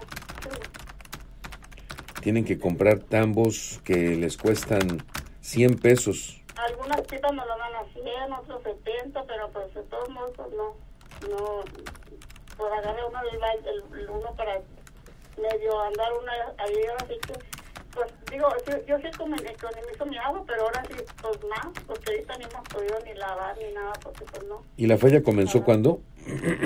La, esta comenzó el domingo pasado, este no, el otro que pasó, el otro le quitaron desde el viernes, y luego ya después empecé yo la noche que hace el lunes, que era un, no sé qué, que venía de la, que viene para acá por playa, o sea, que se quedó todo lo que era el Tarna, la Gloria, el Teco, todo esta área se quedó sin agua, que porque estaban arreglando ese, ese tubo, y ya pues lo dijeron, en dos días se restablece, bueno, pues no, dos días y creo que el miércoles me lo echaron, pero como hay cuenta que en la noche un ratitito y en la mañana que amaneció pues ya no había agua. Y este y luego ya ya desde entonces ya no no nos han puesto. Y ya pues que después que porque el, el ya pues hablé yo a la tele y que porque estaba después dijeron las noticias que no había agua que porque el tambo el tanque del Panamericana no se podía llenar no sé por qué que, no había nada que no pudieron arreglar bien eh, lo que andaban arreglando y que el tambo no el tanque de agua no se no se llenaba el tanque de aquí del Pana Bueno, estoy mandándolo ya en este momento a Salomón Faz y a Héctor Gutiérrez para que eh, se encarguen de manera inmediata del tema. Espero que esto no dure mucho tiempo. Yo sé lo que es no tener agua y estar a expensas de pues los tambos que llegan a eh, pues eh, a surtir del vital líquido. Y pues no, o sea, siempre es por un tambo, no tiene uno ese recurso, es carísimo. Se voy a decir en mi rancho una, una señora que, que, era pobre y luego le decía uno, le decía a la gente, oye, y le decía, no, pues uno porque es pobre no le humilla, no le dan, así nosotros, yo creo. Pues no es la política del, del señor gobernador. Espero que la, eh, los subalternos, la eh, Secretaría del Agua, la Comisión Estatal de Servicios Públicos lo resuelva para que no llegue a oídas del gobernador, porque para él, como para el presidente de México, eh, primero son las personas de escasos recursos. Exactamente, lo que yo digo, porque uno mire, cada mes está uno con su agua y va uno y paga su recibo, siempre están, ay, el recibo, el recibo, y ahí va uno y paga el recibo, lo que es el agua y la luz, uno no, no trata de no atrasarse por lo mismo, porque dice uno, quiere tener unas sus cuentas bien y todo, y pues no, siempre que el año pasado igual nos pasó lo mismo lo dan una semana dos semanas y no sé por qué no sé por qué motivo nos, nos, hacen esto así bueno, yo con mucho gusto paso la información, me mantengo en contacto. En cuanto le restablezcan el suministro, por favor nos avisa. Ah, sí, cómo no, con mucho gusto. Muchas gracias, señor. Le mando un abrazo, gracias. Igualmente, gracias. A la orden. Otra llamada telefónica a sus órdenes. Muy buenos días. Sí, licenciado, muy buenos días. Gusto saludarle. ¿Cómo está? Bienvenido a la orden. Sí, mire, aquí para este, pues hacer un comentario y observación. Sí. Sobre, eh, últimamente he estado yendo a hacer unos trámites a la SED, de aquí de la matriz que está en Sánchez Taboada, ¿verdad? Y en estos casi, el mes que tengo aquí yendo, casi tres veces o dos veces por semana, me he dado cuenta que nada más trabajan dos cajeros, licenciado, fíjese. ¿Dónde estamos?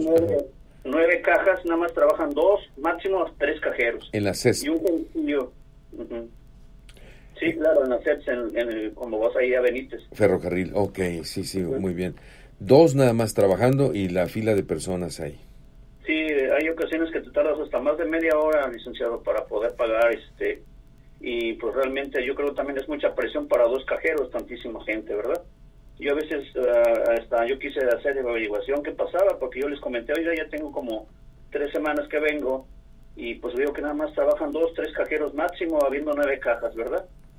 Y pues nadie te da respuesta, nadie te da solución, este licenciado, ni siquiera ahí tienen según un buzón de quejas, pero pues parece que ni lo revisan ni nada, fíjese, pero pues es un comentario y pues o más bien queja, ¿verdad? Porque realmente nosotros vamos para, para agilizar las cosas y pues la SEP sí te exige, te, te cortan agua y todo, pues si no hacen los pagos y mire, pues realmente hay muy poca gente trabajando para poder uno pagar, ¿verdad?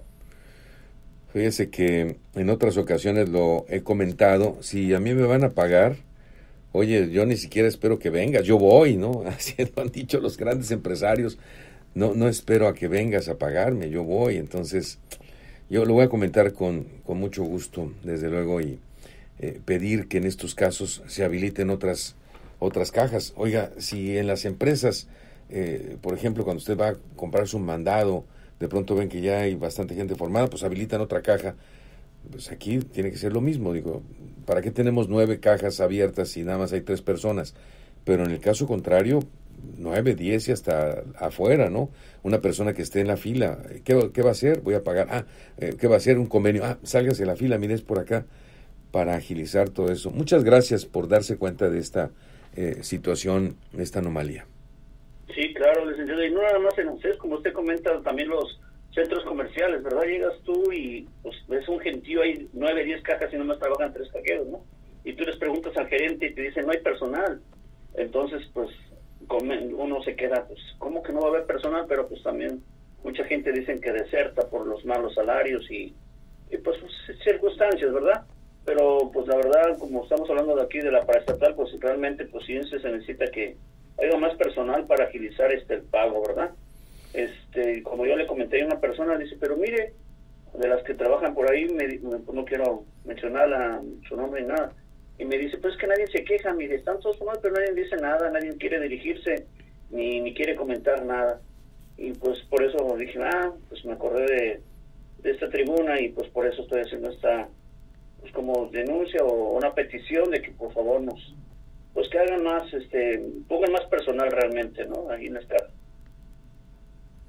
Yo le agradezco muchísimo y la verdad es que sí reconozco que a veces es necesario nosotros presentar amablemente, desde luego siempre, nuestra queja. Eh, señor eh, titular o encargado, eh, estamos muchos formados, necesitamos otra caja. Ah, sí, cómo no, vamos, adelante. Pero sí, desafortunadamente todavía en nuestro país necesitamos que alguien pues se queje o diga para que pueda funcionar esto. De otra manera, las cosas no funcionan. Le agradezco muchísimo muy amable y gracias. Gracias. Igualmente, muy buen día. Muchísimas gracias por esta llamada telefónica. Otro ejemplo de que no nos quejamos es el tema del cruce. Ya Edgar Ramírez volvió a salir, nuestro amigo, este, debido a los contagios y las variables, otro mes más. Nadie dice nada. Yo, yo no digo que hagamos una manifestación y que nos levantemos y vamos a cerrar la No, no, no, eso no. Eso no funciona. Lo que puede funcionar es que cada uno de nosotros, las asociaciones, los eh, grupos religiosos, no, no sé, la organización de la sociedad, envíe cartas al gobierno de Estados Unidos y de México para decir, nos urge. Tenemos trámites que hacer. Eh, algunos han caído en el buró de crédito, porque aunque tienen que pagar sus tarjetas y demás, no, no pueden porque no pueden cruzar. No pueden mandar a alguien porque no tienen a quién. En fin, es un problema enorme. Hacemos una pausa, mi querido Julio. Son las 8 de la mañana con 28 minutos. Regresamos. Está usted en Mesa Informativa. En el Florido, con nuestros precios, todos ganan. Variedad de galletas El Rey de 300 gramos a 15.90 cada una. Papa Ruseta Granel, 9.90 el kilo. El mandado hasta la puerta de tu casa. Compra en nuestra app. Llama o envía WhatsApp al 664-386-9475. ¡Qué barato! ¡Ah! Vigencia al 23 de septiembre. Déjame abrirte los ojos. Visión Ángeles solo hay uno y no está dentro de un centro comercial. Visión Ángeles es la clínica de médicos oftalmólogos con la más alta tecnología, apegados a los adelantos de la ciencia para mejorar la salud de la visión de sus pacientes. Déjame abrirte los ojos. 80% de los casos de ceguera podrían prevenirse con la detección oportuna en un lugar especializado. Déjame abrirte los ojos. Visión Ángeles, solo hay uno. Y solo en Hospital Ángeles Tijuana, 635-1841. Esta es la actitud Neospa. Persistir. Resistir. Y nunca desistir.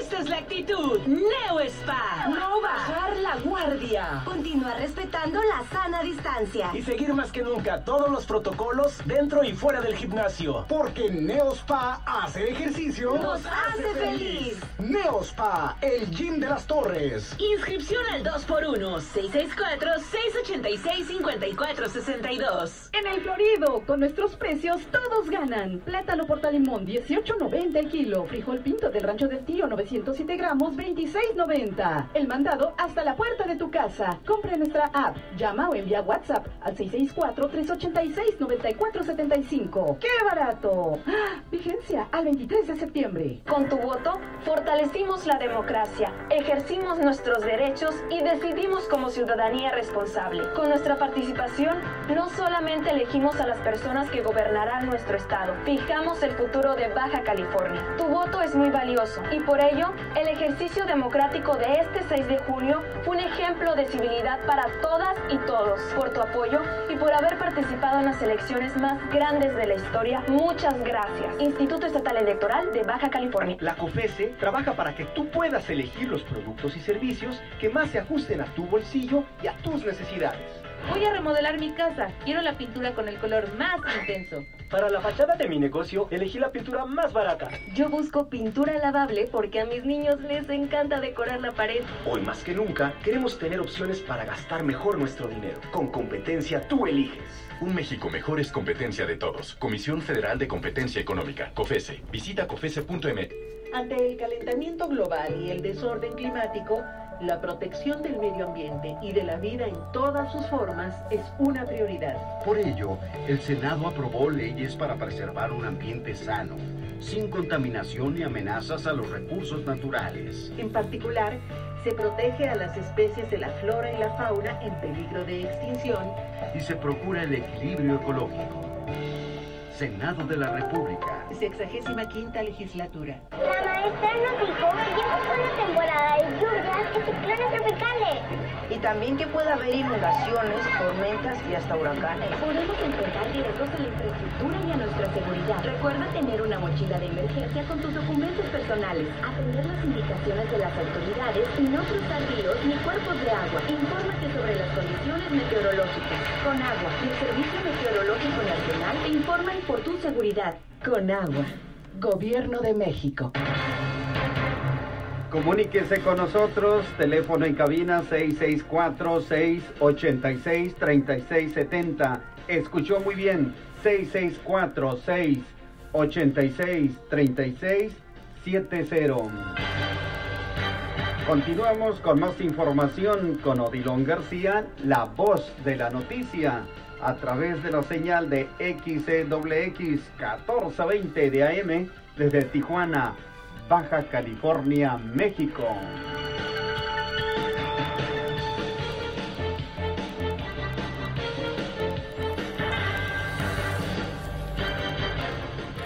Ocho de la mañana con 33 minutos. Eh, Monserrat Caballero ya designó otra tercia de funcionarios que integrarán su gabinete. Le he estado informando eh, puntualmente en torno al particular.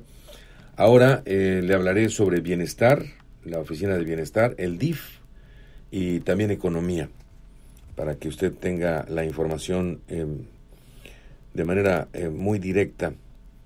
Bueno, pues la lista de funcionarios de la administración entrante de Montserrat Caballero Ramírez ha confirmado tres integrantes más para el próximo gabinete, con los cuales ya sumaríamos nueve, los conocidos. Este ayuntamiento, el, el vigésimo cuarto, inicia el primero de octubre. Gerardo López Montes asumirá la Secretaría de Bienestar Social.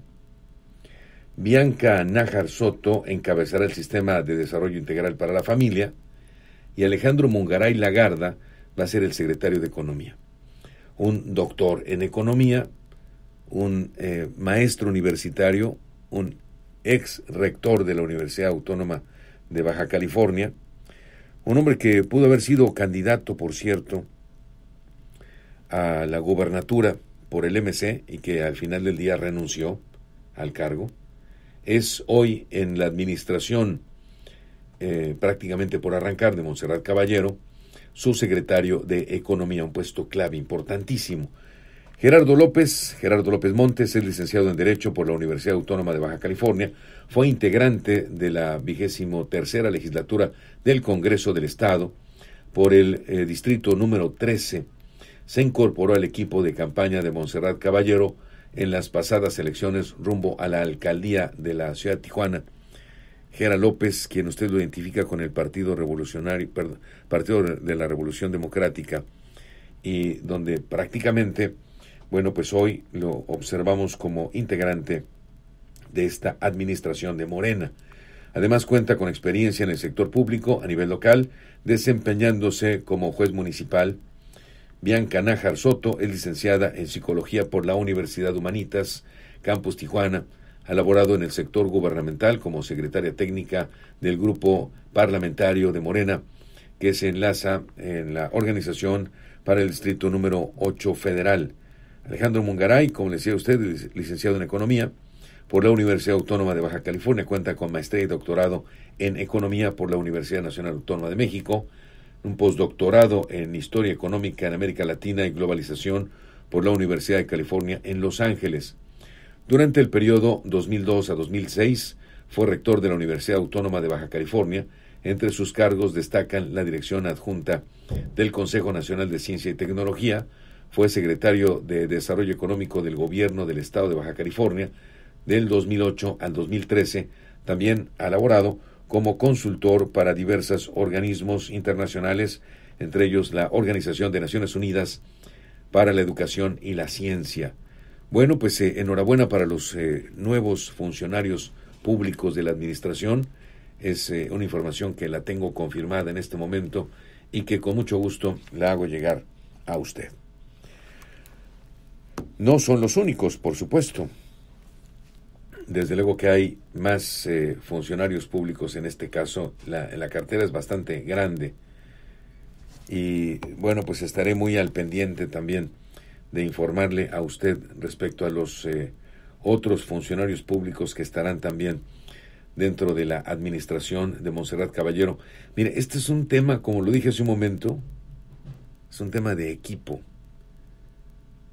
Lo ha dicho el señor gobernador, no hay un llanero solitario que pueda resolver solito los asuntos o con simplemente su presencia. Usted en un equipo, siendo el líder, es del tamaño, actitudes, profesionalismo de los que forman parte de su equipo. Eso es, no es otra cosa.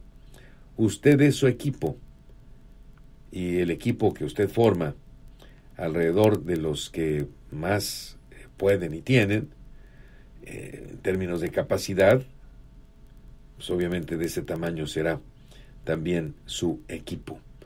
Ahí lo pongo pues entonces para usted con mucho gusto y eh, vamos a estar al pendiente de los otros que serán nombrados dentro del propio gabinete. Esto por supuesto no termina, ahí son muchos los puestos, pero ya sabe usted cuáles son los más importantes que integran este gabinete de la alcaldesa eh, electa, Monserrat Caballero, que está a unos días de convertirse ya finalmente en la eh, presidente municipal de esta ciudad de Tijuana. Así que bueno, pues ahí tiene la información que yo con mucho gusto le comparto. Y eh, bueno, voy a estar al pendiente de más nombramientos, por supuesto. Este es información que lo acaba usted de saber de primerísima mano. Hoy se dio a conocer la confirmación de los funcionarios públicos. En más información, en presencia de expertos en derechos humanos y representantes de la sociedad civil, hoy se instaló la Comisión de Derechos Humanos del Congreso del Estado, la cual es presidida por la diputada Santa Alejandrina Corral Quintero, las diputadas María del Rocío Adame Muñoz, quien funge como secretaria, y las vocales Dunia Monserrat Murillo López y Amintia Guadalupe Briceño, cinco, acompañaron a la presidenta en la ceremonia donde todas ellas asumieron el compromiso de luchar por la protección y defensa de los derechos humanos que dignifican la vida diaria de todas las personas. Hoy mencionaron, procedemos a la instalación y con ello damos en marcha de manera formal al inicio de los trabajos que requieren de una atención especial, dijo la diputada Alejandrina, tras de lo cual reconoció que con el paso del tiempo se ha tenido avances significativos en esta materia. Sin embargo, advirtió, también sabemos que hay mucho trabajo por realizar y lo queremos hacer de manera conjunta con los expertos en el tema de derechos humanos, con la sociedad civil, con los diferentes órganos de gobierno. Pese al avance que sobre la materia se ha tenido, insistió, es muy, es muy triste escuchar voces que dicen que los derechos humanos se crearon para defender a los delincuentes por encima de los derechos de las víctimas. Hay que crear mayores vínculos de, solidaridad, sobre todo con nuestros niños, adultos mayores. Tenemos que ser más empáticos, generosos y responsables con el prójimo. En el evento también hicieron acto de presencia el presidente de la mesa directiva de la 24 legislatura, el diputado Juan Manuel Molina García, el diputado Juan Diego Echeverría. Por parte de los invitados se contó con la presencia de Carlos Flores Domínguez, secretario general del Consejo de la Judicatura del Poder Judicial, quien acudió en representación del maestro Alejandro Isaac Fragoso, así como también presente Miguel, Miguel Ángel Mora Marrufo, presidente de la Comisión Estatal de los Derechos Humanos en Baja California, estuvo presente el licenciado Juan eh, Julio Felipe García Muñoz, representante del secretario general de Gobierno, Amador Rodríguez Lozano, la licenciada María Georgina Armenta Moreno, encargada de Espina Mexicali, Miguel Ángel González Hernández, en representación del delegado de la Fiscalía General de la República, Victorio Porcayo Domínguez, Luis Alberto Hernández Morales, presidente del Consejo del Instituto Estatal Electoral. Asistieron Mónica Oropesa, directora general del Albergue de Desarrollo Mexicali, Alfredo Poster White, igualmente presente eh, de COPASE, una asociación civil, así como funcionarios de las universidades privadas y activistas de organizaciones civiles. El secretario general de Gobierno, el doctor Amador Rodríguez Lozano, encabezó la reunión de transición con el gobierno estatal, el gobierno estatal entrante de Marina del Pilar Ávila Olmeda, junto con el próximo secretario de Gobierno, Catalino Zavala Márquez, así como su grupo de colaboradores, Rodríguez Lozano, comentó que tal y como se marca la ley, se hará la entrega de los documentos que contienen el estado que guarda la Administración Pública Estatal, así como los recursos materiales y humanos de los que dispone la Secretaría General de Gobierno. Nosotros estamos comprometidos con el nuevo gobierno, dijo el doctor Amador Rodríguez Lozano, le vamos a dar todas las facilidades, toda la información, todo el apoyo para que puedan entrar a tambor batiente respondiéndole a la población como nosotros le hemos respondido, dijo el doctor Amador Rodríguez Lozano secretario general de Gobierno, afirmó que en general en todas y cada una de las dependencias que, componen la administración estatal, la transición se ha llevado de manera ordenada, tal y como fue la instrucción del gobernador Jaime Bonilla Valdés.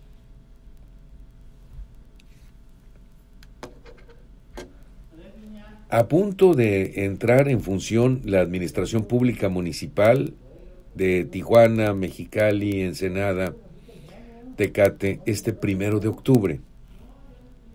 Y el primero de noviembre tendremos nueva gobernadora, por primera vez en la historia de Baja California, gobernadora electa aquí. No hablo de sustituciones y demás, la primera gobernadora en la historia de Baja California el primero de noviembre. Y desde luego le llevaremos a usted la información que se genere alrededor de este particular. Eh, solo comentarle, por supuesto, a usted que en este momento está ya la conferencia del gobernador Jaime Bonilla Me preguntan que si Marina del Pilar también va a tener conferencias todos los días. No, eso yo no lo sé. Estamos hablando hoy de una administración. Eh, lo más probable, le voy a decir a usted, le voy a adelantar, dentro de mi bola de cristal es que no. ¿Por qué? Porque la administración de Jaime Bonilla fue una administración de dos años. Había que aprovechar hasta el último momento. Esta será una administración de seis años, ¿verdad? De acuerdo con lo establecido eh, legalmente, jurídicamente. Eh, ¿Habrá FISAMEX? Entiendo que Marina del Pilar em, eh, terminará con esta empresa su relación laboral. No quiere decir que vaya, no vaya a haber eh, alguna otra que haga las veces de eh, fiscalizadora. El trabajo de FISAMEX es un trabajo contratado, lo contrató Kiko Vega y fue contratado para hacer dictámenes profesionales de las cuentas que deben recursos o que no deben, en su caso. Pero es, solamente un dictamen, es como si yo digo a una persona, oye, te contrato para que me digas eh, cuál es la penetración de la doble X. Ah, pues cómo no, pues aquí está punto. Por cierto, encontramos que le deben tales y tales anuncios fulano, están y mengano. Ah, ok. Pues ya seré yo quien cobre o no. Pues decirle gracias, hasta luego, nos vemos y guardo mi documento, se acabó. Pero como esto es una administración pública, si dice la empresa X debe 5 millones de pesos, hay una obligación del gobierno por ir a cobrarlos.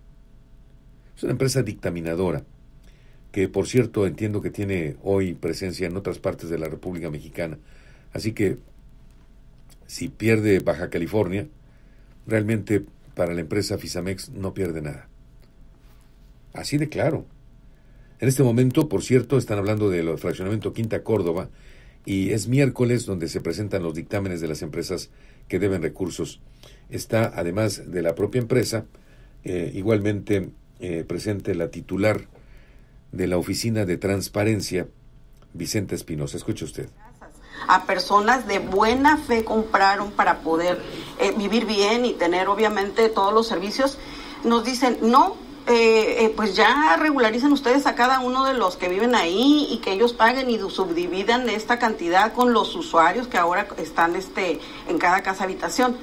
Qué irresponsabilidad tan grande cuando ellos son los que hicieron un fraccionamiento, prometieron tener todos los servicios, cobraron muy bien una vivienda o la siguen cobrando y definitivamente ahora nos digan, pues háganle como quieran y teniendo medidores control y teniendo toda esta capacidad de poder haber pagado desde el inicio, porque no tenían que pagarlo después, tenían que pagarlo al inicio, antes de construir. Y entonces creo que los ciudadanos, los que compran estas viviendas, no tienen la culpa de todos estos desarrolladores que se están haciendo millonarios sin pagarle al Estado y tener estos derechos de servicios, ¿no? Así es, secretaria, como ya se había comentado también en transmisiones anteriores, las casas superan el millón de pesos, ¿no? Inclusive los dos millones de pesos, pues el adeudo que ellos traen es de 20 millones y existen cientos de casas al interior de estos fraccionamientos. Así es. ¿Y cómo justificamos, perdón ingeniero, pero cómo justifico yo llegar ahora a un domicilio y decirle, compraste una casa, pero ¿qué crees? No pagaron el agua. O sea, los derechos de agua no están pagados, no están cubiertos, tienes que pagarlo. ¿Y cuánto debo? Pues hay que dividirlo entre las propiedades, que son 20 millones, para que todos paguen. Y el que se fue con la lana, pues fue el desarrollador que en su momento ya les cobró con todos los servicios de esta Así propiedad. es, fue una venta completamente engañosa. ¿no? Engañaron, estafaron a estas personas al venderles viviendas que carecen de derechos de conexión. Así es, y yo no creo que nadie en su sano juicio diga, ah, no, yo absorbo la cuenta del que me vendió, ¿verdad? Ahora, pues ni modo. Pasamos a la siguiente. Tenemos el Parque Industrial Nelson, igual ubicado en el municipio de Mexicali. Para este parque industrial tenemos un deuda de 42 millones 646 mil 221 pesos con 36 centavos, de igual manera por el concepto de derechos de conexión. Pasamos a la siguiente. Tenemos a Promotora de Desarrollo Sustentable, es un pequeño parque industrial ubicado dentro de otro parque industrial en el municipio de Tecate. En su momento se comenzaron a dictaminar las naves al interior del parque industrial, sin embargo ellos mismos comentaron que ellos eran una fracción independiente, que querían que su adeudo fuera de manera independiente a las naves al interior del parque. Por lo tanto, pues de esa manera fue como se dictaminó a este pequeño parque industrial de manera independiente, pero después ya no volvieron, como es de costumbre, a acercarse, a tratar de regularizar este adeudo por derechos de conexión.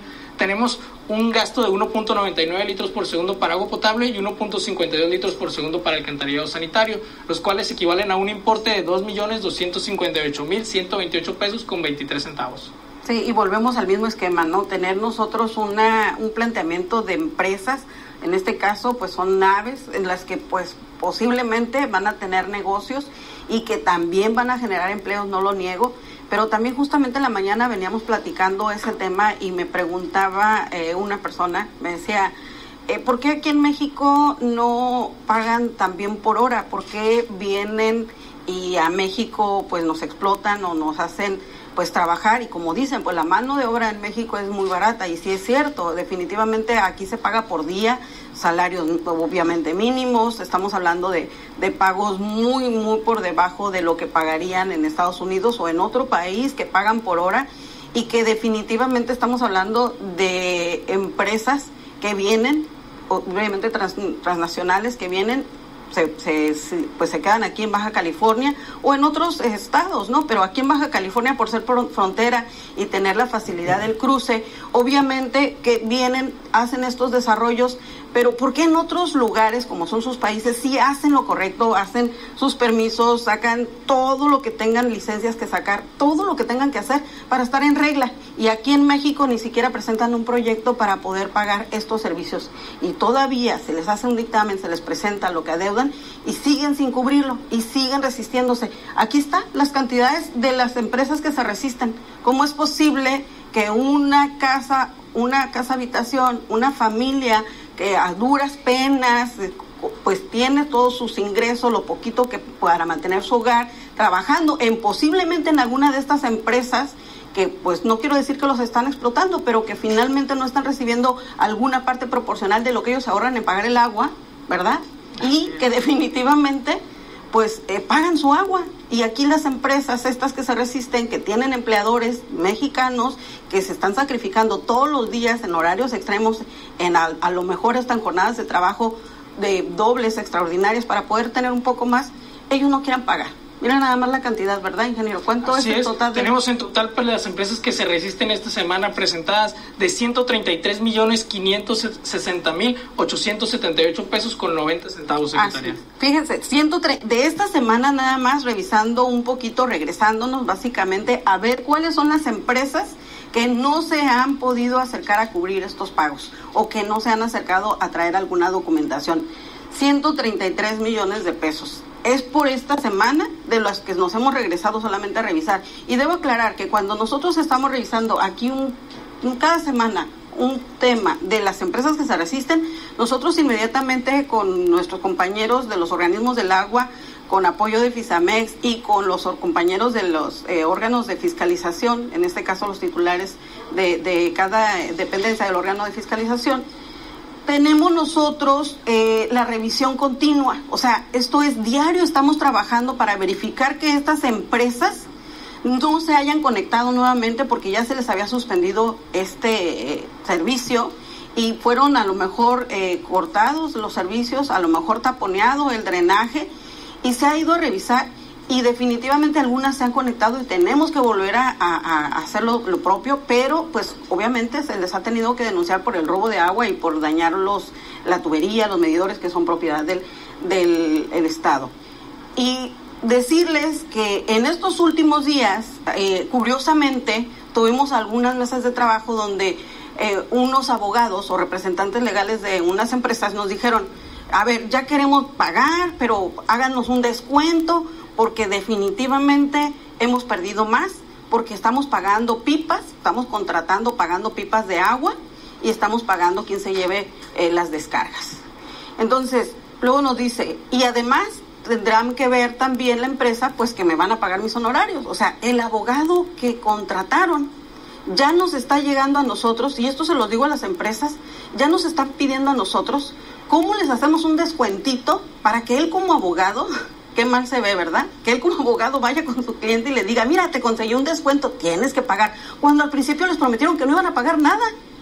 Y ahora dice, le está costando más a la empresa comprar pipas de agua eh, que se lleven, obviamente, las descargas en una planta o este servicio que se presente y además mis honorarios. Así se las pongo, de verdad. Y, y, que están esperando que un amparo milagrosamente les diga no pagas nada y puedes obtener el servicio gratuito. Es increíble, ¿no? Así es, ya se ha hablado del tema de los amparos y eh, inclusive hemos presentado los que han sido, donde se les ha negado la suspensión, como el caso de la hielera de Tecate que fue presentado la semana pasada. Son adeudos completamente acreditados y en base a ley. Así es comenzamos ahora, secretaria, con las empresas que fueron dictaminadas para esta semana. Empezamos con el municipio de Tijuana. Tenemos a Baja West Water Solutions. Es una empresa ubicada en la colonia Garita de Otay. Esta empresa se dedica a recolectar el agua residual de otras empresas que no tienen el sistema de tratamiento conjunto con el organismo. Entonces, esta empresa recolecta esa, esos volúmenes de agua residual, la trata y después la arroja al sistema de drenaje de la ciudad.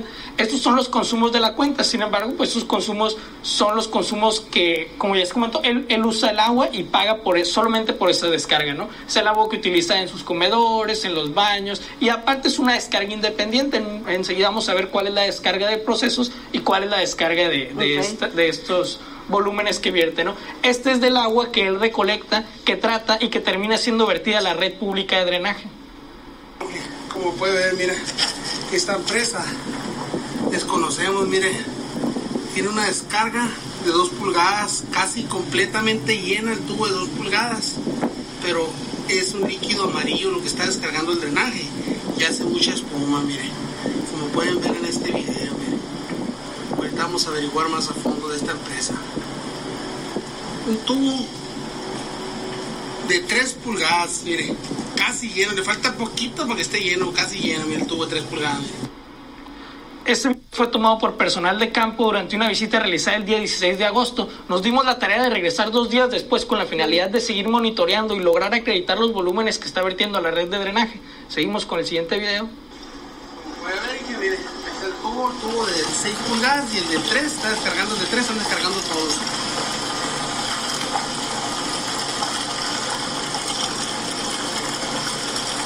se puede apreciar que es evidente el gran volumen de agua que está siendo vertido a la red pública de drenaje sin un pago por correspondiente por el mismo, ¿no? Muy importante, Clara, que este dictamen va relacionado con estos volúmenes que estamos viendo que están siendo vertidos a la red, volúmenes que terminan siendo vertidos a la red, terminan en una planta de tratamiento y costándole al organismo tratar esa agua, ¿no? Pues al organismo, pero realmente a los ciudadanos, ¿no? Porque con lo que pagan los común, los de a pie, como yo digo, ¿verdad? Los ciudadanos comunes, es con lo que se hace todo este tratamiento, ¿verdad? Así es, de acuerdo al caudal y al flujo que se puede apreciar en, esas descargas y a las determinaciones y metodologías que nos permite utilizar la ley, se, dictaminó un, un adeudo por descargas de la red, un volumen de 51 mil metros cúbicos vertidos en los últimos cinco años aplicando el 40% de la tarifa de agua potable, la cual corresponde al uso público de la red de drenaje, tenemos una deuda de 2.049.384 pesos por el concepto de descargas vertidas a la red no contabilizadas.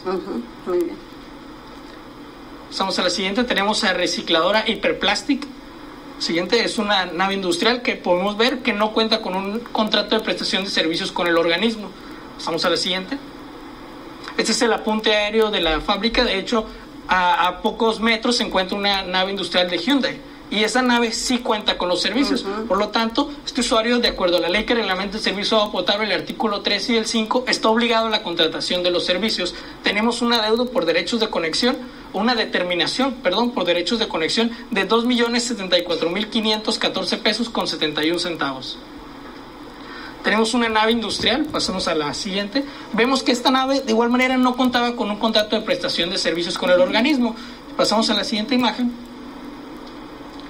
Esta nave podemos ver que de igual manera se encuentra en un área en donde sí existen servicios de agua potable y de alcantarillado sanitario. Por lo tanto, para, para, comenzar, pues tenemos el adeudo por derechos de conexión, ¿no? De acuerdo a la superficie del predio, tenemos un adeudo de 452.385 pesos con 77 centavos solo por los derechos de conexión. Pasamos a la siguiente. Sin embargo, durante las visitas de campo que de igual manera fueron realizadas por personal de FISAMEX, se logró acreditar que no solamente el usuario debía derechos de conexión al estar cerca de un lugar en donde se encuentran los servicios. Pasamos a la siguiente sino que también estaba conectado de manera clandestina a la red de agua potable del municipio. Se encontró una tubería de dos pulgadas conectada sin un aparato medidor que contabilice el vital líquido que es aprovechado por esta fábrica. Tenemos pues una facturación de cero y una presuntiva de 1.500 metros cúbicos mensuales aplicada a un periodo de 60 meses. Fisamex determinó un adeudo por agua no contabilizada para una toma clandestina de 2 pulgadas de 8.987.400 pesos. En total para esta, para esta empresa tenemos un adeudo tanto por derechos de conexión como por agua no contabilizada de 9.439.785 pesos con 77 centavos. Tenemos el fraccionamiento Villa Bonita, ubicada en, en, el municipio de Rosarito. Pasamos a la siguiente.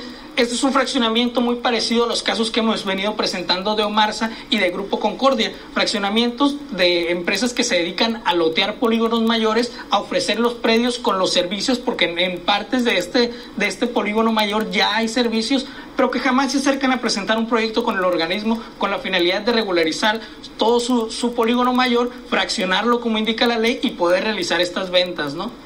Pasamos a la siguiente. Vemos que el usuario eh, se anuncia, este, este, desarrollo se anuncia en diferentes partes, cuenta de igual manera con oficinas establecidas en donde ofrece estos lotes. El polígono mayores cuenta con una superficie de 265 mil metros cuadrados. Un polígono que, como se comenta, carece de un... Bueno, 24 millones de pesos es lo que adeuda esta empresa que está presentando en este momento el grupo Fisamex. Eh, como le decía usted, es un tema eh, de cobro por parte del Estado y nosotros puntualmente le hemos informado en torno al particular. Ya nos vamos, le agradezco muchísimo el foro de su atención, pásela muy bonito, cuídese mucho, por favor. Eh, el virus está presente, dijo Julio Rodríguez, lo dice con toda sabiduría, si es cierto, a cuidarnos todos, a cuidar a los demás, no queremos que se sigan expandiendo. Y nos despedimos con nuestra frase de poder. Gracias, mi querido Julio. Y muy buena suerte, amigos y amigas. Aquí termina Informe 20.